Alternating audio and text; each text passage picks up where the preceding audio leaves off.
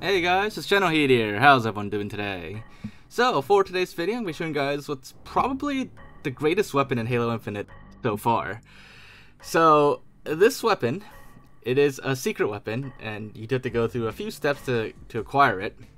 But it's not too difficult to acquire, it, and it works on any difficulty, and it is well, like I said, it is probably one of the best weapons in the entire campaign right now, and it actually makes Legendary and probably even LASO difficulty very easy. So, all you need to do is just get to the point in the campaign where you get to Outpost Tremonius, and you have to do this at the very beginning of the campaign. If you come back to the Outpost later, uh, these switches here won't be here. But anyways, the first switch will be right behind the building that you come out of, and it's, uh, you just press it, and that's it, and there's a, there'll be dead marines at each of the uh, switches, so that's how you do that's how know you're the right track. And you can also scan for it. They'll show up on the scanners. Uh, but the next switch is on this top part of the mountain here. It's uh, inside the uh, crash frigate. So you just gotta make your way up from this side over here. And obviously you can do all this with your grapple shot. And just uh, quickly make your way up. And on Legendary you might have to clear out a few enemies first. But it's uh it's not too hard. And once you get up here, it's pretty it's pretty safe. There's no other enemies up here that you need to worry about. So yeah, just make your way up the rocks here, and then grapple up here again, and make your way inside the ship. So just uh, come around the corner here, and there it is. The next switch is right here. There's the Marine's body, and all you do is just press this switch, as far as I know, there's no time limit, so you could take your time, especially if you're on Legendary, you need to clear out enemies or something. So just, you know, don't worry about that too much.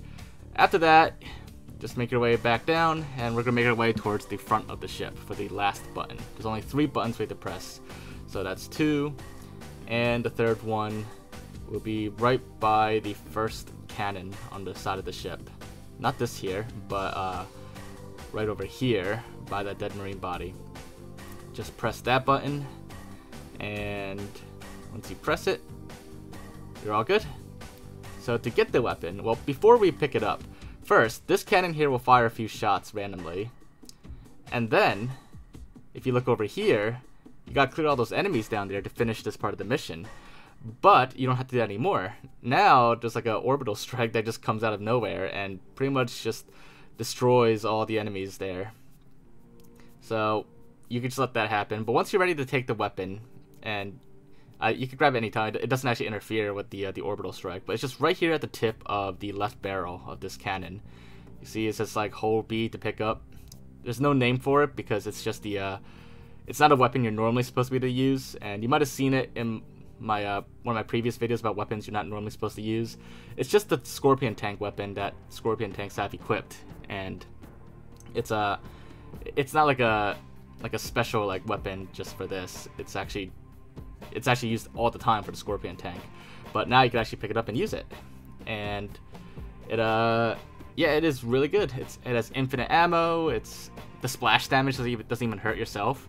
And on easy difficulty against bosses, it's like it like destroys bosses so quickly. Like you can nearly one-shot bosses. It's just like on easy, like depending on the boss, takes like two or three hits to kill the bosses.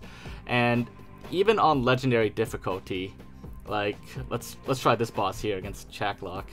He uh yeah, it's um it does a lot of damage. It, it, he can eat a few more shots, even like direct hits, than he would on easy difficulty.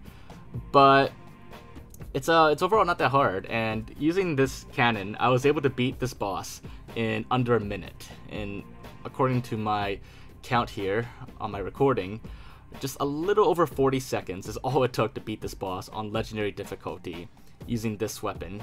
And you can carry this weapon throughout the entire campaign. Just keep it in your secondary and never drop it. If you drop it, it's gone, and there's no way to get it back.